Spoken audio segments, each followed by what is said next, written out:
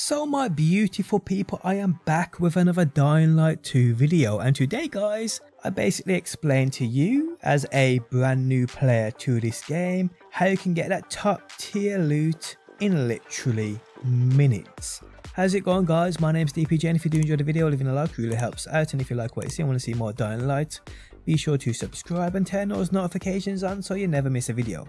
Okay, so about 3 or 4 days back I posted an incredible endgame farm for top leveled gear. Basically 17 chests or containers in a small area which you can farm over and over again. These are located at the very bottom of Central Loop and well anyone who has access to this can farm these straight away earning the best loot in the game. I mean this guy's drops the highest level loot I've seen so far almost 200 hours in. It's basically an end game farm for when you complete the game to get and, and get that best gear in the game. It's as simple as that. But my beautiful people, there's also a way in which new players to this game can farm this too. And it's relatively straightforward. Now they don't even have to have Central Loop unlocked. I mean as soon as I've got into Old Villedor, you can do it from here and how this works is all you gotta do is join a friend who's already got Central Loop opened up. Once you're in their game guys and they're in that Central Loop area and you've joined them, you'll be able to go down and farm this incredible endgame item farm. So the best weapons in the game, the best armor in the game will all come from these chests now there are 12 sunken airdrops here and there's also 5 inhibitor containers. They don't showcase to you on the map where they are unless you get real close to them and you can hear that ping. But on screen now you can see a map of where exactly these are. Now this is quite a popular farm. I did post it first on YouTube and I know a lot of bigger YouTubers picked up on this and rightly so. It's an amazing spot. But no one's covered the fact that you can actually go here as a brand new player you join a friend who already has Central Loop open. So again guys, if you have a friend who's already opened up Central Loop, you can go down to this farming spot. Now I will warn you, if your friend has completed the game, there's two scenarios uh, where this can either be covered in water, which in my opinion is the easy method, or if the water's been drained, then you will have to fight your way through zombies to pick up these containers. Me personally, I completed the game and mine is covered in water so I had to swim down to these crates, these chests, but still it's super super easy. All you'll need is a few lockpicks to get these opened. Once they're open for that first time, you don't have to open them again. And because the loot in these is on like a 20 minute uh, timer and it respawns in, by the time you've done one full lap of all these containers, you can start again from the very beginning, rinsing and repeating the process and earning that best loot in the game guys. It really is that simple. So again, if you have a pal that's opened up Central Loop, join their lobby. And all you need to do is come down to this side of the map avoid the newfound lost lands because it's full of that poison you don't want to go down there you want to come down the left hand side of the map and you'll come to a safe house a night runner's hideout this you do want to uh, obviously activate just in case you do die. You'll spawn right here. And from here guys, this is where your farm can start. It is as simple as that people. And I do hope it helps you out. On screen now I'll show you the locations of every single one of these chests from a previous video from the one I originally posted. So you can see exactly where these uh, containers are but like I said this whole area was underwater for me. If your friend has completed the game, there's a good chance that this area may have been drained of water. Although the chests will be in the same spots, there's going to be zombies you will have to fight your way through. So keep that in mind guys. But yes, this is how a new player to the game can get the best loot in the game, relatively straight away. And don't worry about your level guys, I've had it confirmed by many people who have tried this. If you're a level 2 or 3, you can still get the best high level gear like level 8, 9 from these containers. So yes, it's definitely worth your time checking out and doing. But on that note, the end of the video has arrived. I'll leave you now to watch the locations of these containers. If you enjoyed the video, leaving a like really helps out. And hopefully people, I will see you on that next one.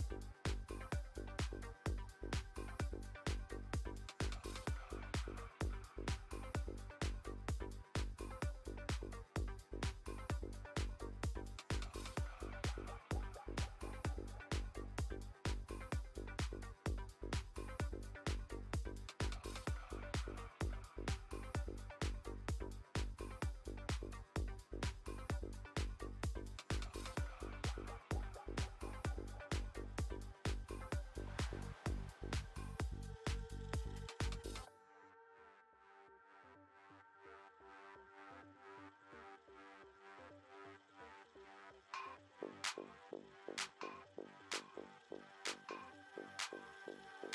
you